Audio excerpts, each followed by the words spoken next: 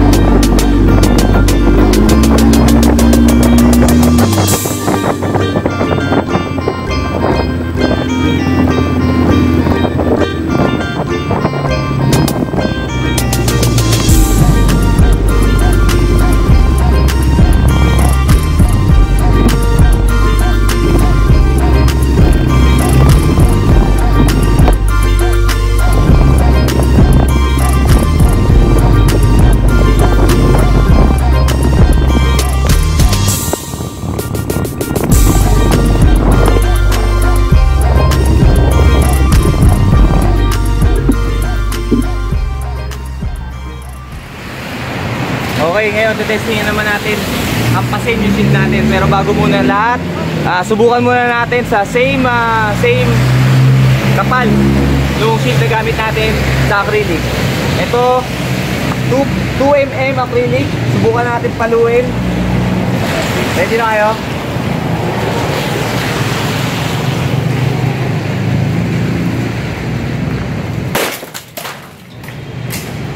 Next, shield naman.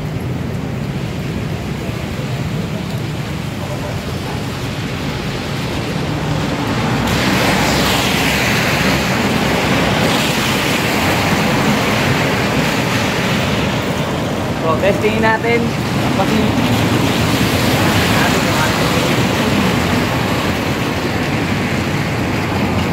Siyempre, when, when it comes to safety, dapat sinusubukan natin lahat.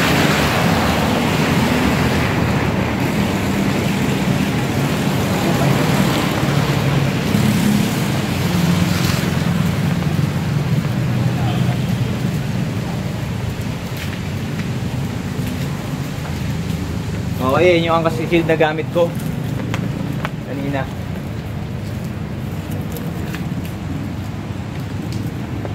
Pull natin maayos. Huwag natin paluin ha.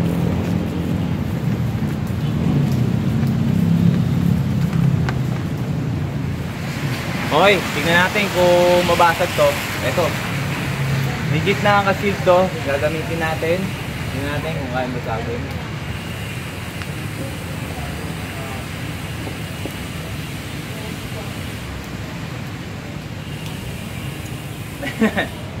Joke lang.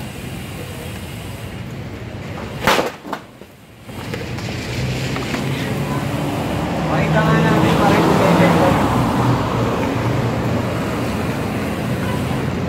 Oh, wala. Paluin pa natin ulit. Baka medyo magkaina yung pagkapal.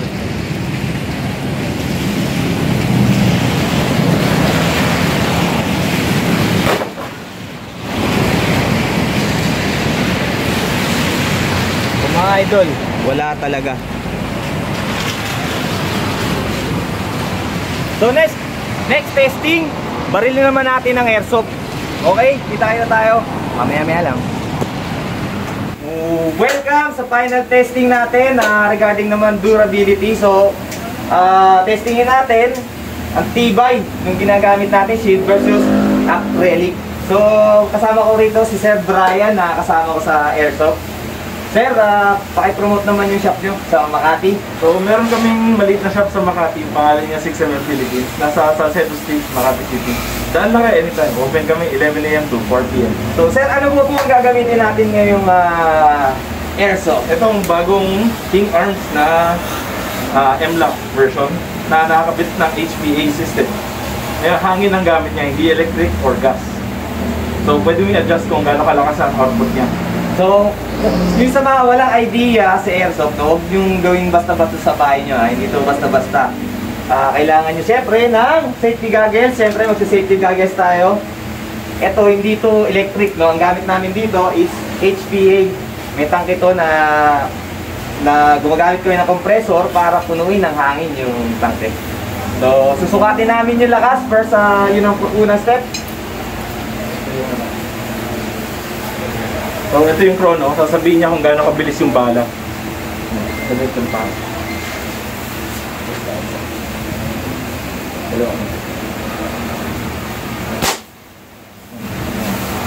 So, nag-rate siya 400 FPS sa point 2.5. 25. So, it meaning plus sa ah, may calculation kasi dyan. Kung ang Plus 0.25 is plus 40. So, 441 FPS. So, subukan natin. Ano ba susubukan natin? Ito, pakita natin kung ano yung susubukan natin. Kumuha tayo na ng materyales sa parehong ah, shield. So, kumuha ako ng ah, shield galing sa angkas. Ito yung materyales. Ano yung materyales nito? Mamaya sasabihin ko. Ito ay acrylic. No? Pareha silang 2 mm. So isa lang natin. Siyempre, sa airsoft kailangan may safety goggles ka kasi hindi na napapalitan ng mata. Pare, pero nga sa safety goggles. So ito, taluban natin. Sir Brian, paki... Na. So, mapapansin nyo, pati Sir Brian naka naka safety goggles. So, first testing, acrylic.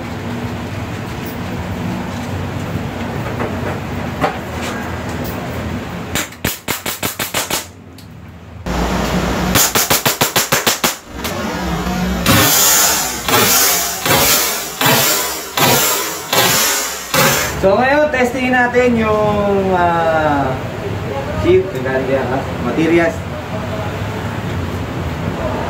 Sir,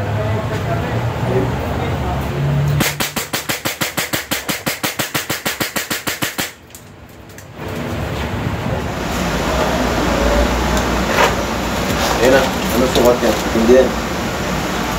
Oo, oh, nakita nyo, basag na yung railing. Sir?